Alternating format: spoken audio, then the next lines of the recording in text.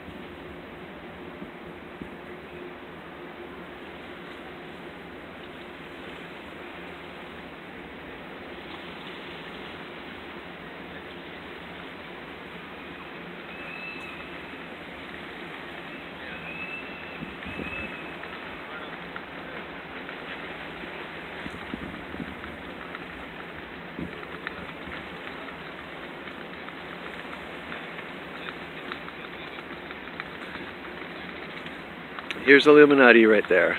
Three of them. Illuminati. As I mentioned in previous videos, Mr. President, uh, my thoughts, my actions, my emotions are not mine. They're controlled by the Illuminati, and any attempt I make to have my own opinions or exercise my own free will or conscience, it will be thwarted and exterminated by the Illuminati.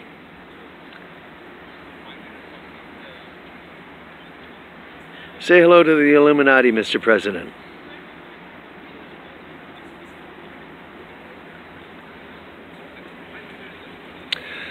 They like to uh, joke the fact that I'm not working and that I'm just taking social services from the government, which I think is uh, quite a jovial joke, considering I think that the pension money that I get for my disability and from the Ontario and Quebec and Canadian governments is very is money well spent, Mr. President. I think that my duty to my country and my patriotic honor are very well justified with the money that's being spent for my monthly income.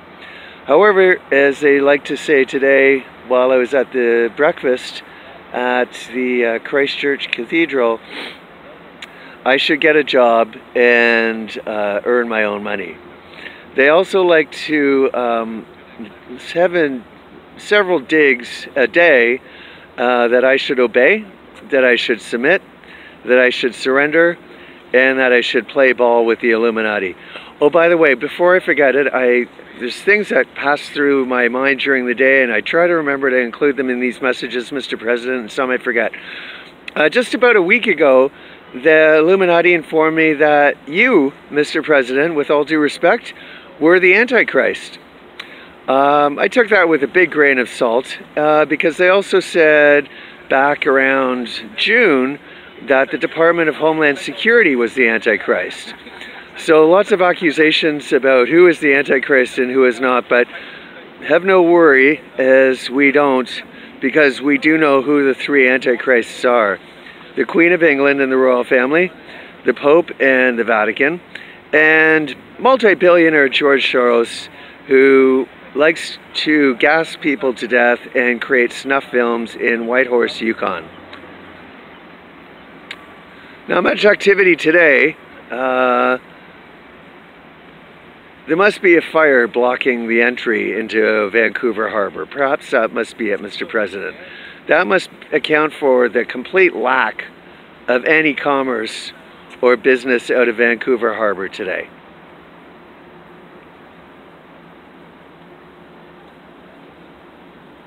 You would almost think by looking at this, Mr. President, that a pandemic has exploded throughout Canada, causing the death of millions.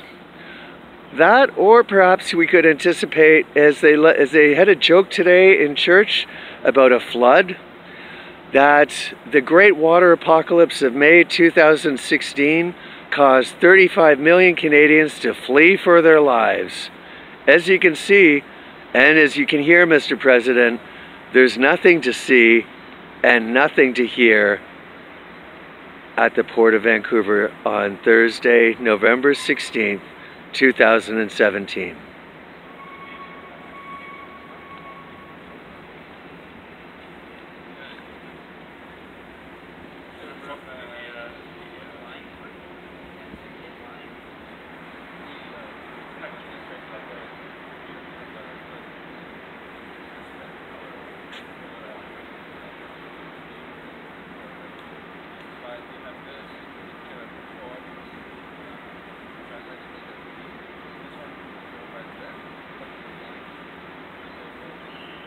Note the Illuminati eye.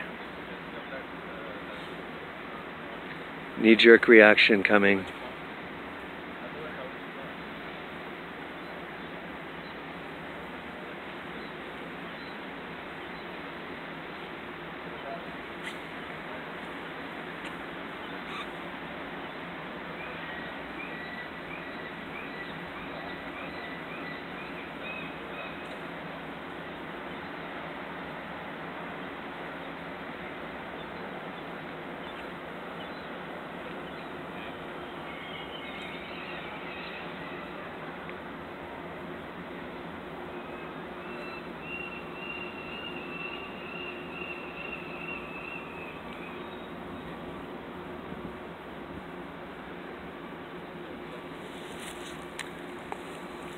Have a good day, Mr. President.